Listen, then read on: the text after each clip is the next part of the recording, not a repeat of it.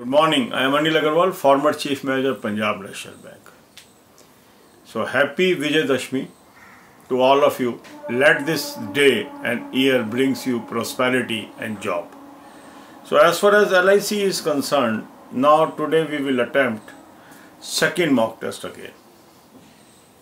The second mock test that is available on the link and description available in the comment and description column Many of you have already subscribed this mock test. The other subscribers, those have not uh, subscribed till now, they should subscribe it today because along with LIC mock, you will be eligible for so many other mock tests if you take the package.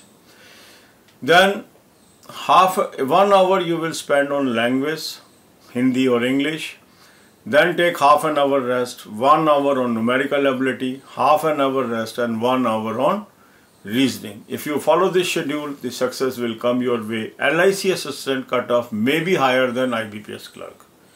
And as such, I will advise all my subscribers not to lose focus on IBPS clerk. LIC assistant is good, but along with that, keep your focus on IBPS clerk also because here many people may be able to clear, many people may not be able to clear due to less number of vacancies as compared to IBPS clerk. अब यही बातें हम हिंदी में करेंगे। आपको बहुत बहुत मुबारक विजय दशमी दिन की। भगवान करे ये वर्ष और ये दिन आपके लिए शुभ में हो और इस साल आपको जॉब मिल जाए। एल की हम तैयारी कर रहे हैं। आज हम second mock test re attempt करेंगे जिसका लिंक डिस्क्रिप्शन कमेंट कॉलम में जिन भी लोगों ने ये मॉक टेस्ट लिया है, वो मुझे बता रहे हैं उनमें मार्क्ड इम्प्रूवमेंट आ चुकी है। क्योंकि मॉक टेस्ट के ज़रिए हमें पता लगता है हमारे कमज़ोर एरिया कौन से हैं। और जब हम उस पर काम करते हैं तो नेचुरली इम्प्रूवमेंट आती है। तो इसको आप करिए।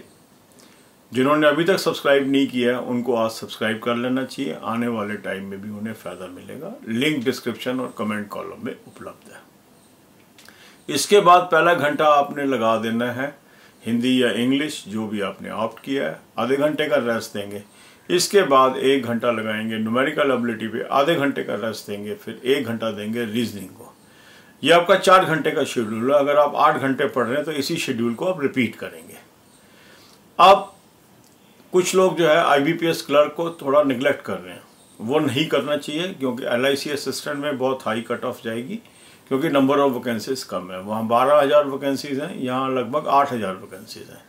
तो डेढ़ गुना वैकेंसीज हैं I B P S clerk में तो इसलिए तैयारी हमें ऐसी रखनी है कि एल आई सी भी हमारा क्लियर हो जाए और I B P S clerk भी हो जाए। So all the best God bless you all